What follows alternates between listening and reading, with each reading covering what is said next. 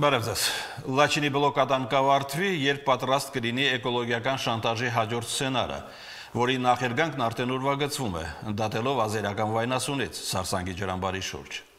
Բա ինչ էիք ուզում։ Արցախը զրկել գազից, էլեկտրաէներգիայից, հետնել ոռնալ, թե Սարսանգը ցամաքում է, որովհետև հանկարծ ողրզել եք, որ հայկական ջրամբարը, որից սնվում եք նաև դուք, մնացել է միակ փրկողակը Արցախին լույս ու ջերմություն հասցնող։ Ուրեմն կողմնորոշվեք, եթե դեռ չեք ուրացել նոյեմբերի 9-ի ձեր ստորագրած բարաթը,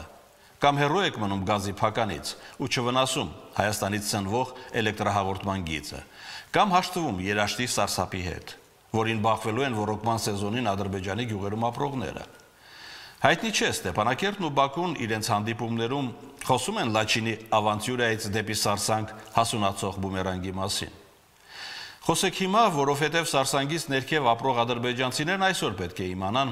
Իրենց գլխի գալիքի պատվիրատուն հարազատ Բաքուն է։ Այնպես որ Բաքվի այդ երկխոսությամբ Լաչինի ազատագրումը մեզ չի վիրավորում։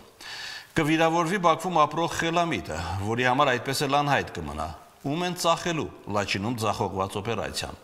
Արևմուտքին Հաագայի կարմիր քարտով, ռուսներին Լավրովի պատվերով, թե հայերին Սարսանգը փրկելու դիմաց։ Հաջողություն։